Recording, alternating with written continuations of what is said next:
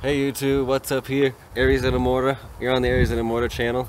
I just took a dab fatter than your mother-in-law's Aunt Geraldine from Mississippi.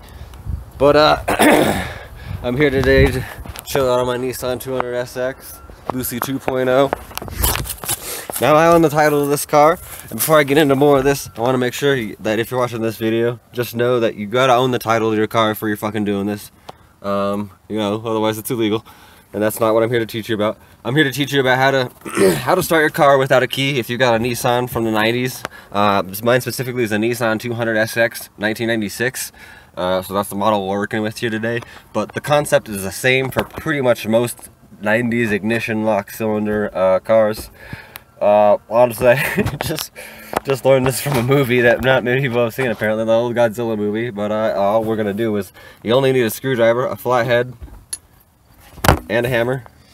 And again, this is for educational purposes only. Like if you lost your keys and you can't find them, a tow truck costs $250 and it's gonna be like 140 at least to have a key come made for you. So like some people just don't got the cheddar. I don't got that cheddar all the time. And you, you it's an emergency. Like this is an emergency only kind of thing. So anyway, we're gonna get to it. I'm gonna go ahead and flip the camera over now. See if I can even do that.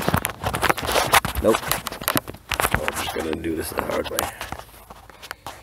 So right up in here, what you're gonna need to do is remove the steering column, which I don't really have those parts, they're already moved, they're thrown in the back. It's gonna be four screws under here.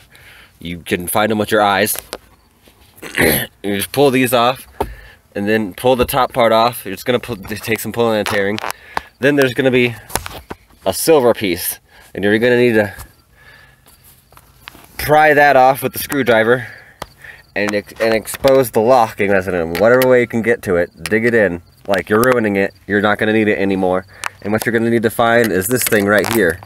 This guy right here. What you're going to end up with with once you ram the screwdriver you're going to ram the, the screwdriver into the lock cylinder.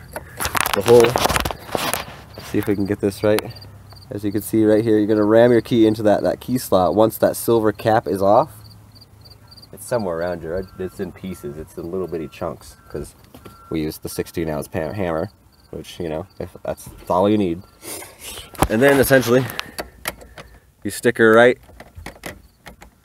right in there. She'll fit just like a key. There you go.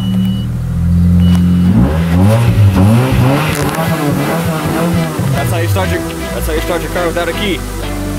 Don't use this unless it's your car, or you'll probably end up in jail. Guaranteed. Uh, this is educational purposes only. Don't use my video to break the law. Uh, don't credit me if you do, I should say.